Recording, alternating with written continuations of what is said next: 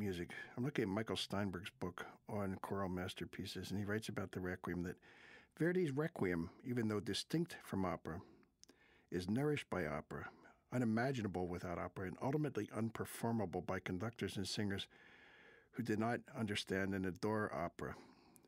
Verdi spent most of his life in an often frustrating search for good texts. What he was looking for, he summed up in a few words when he wrote to one of his librettists. I want, he said, a beautiful subject, original, interesting, with fine situations, and impassioned. Passions above all.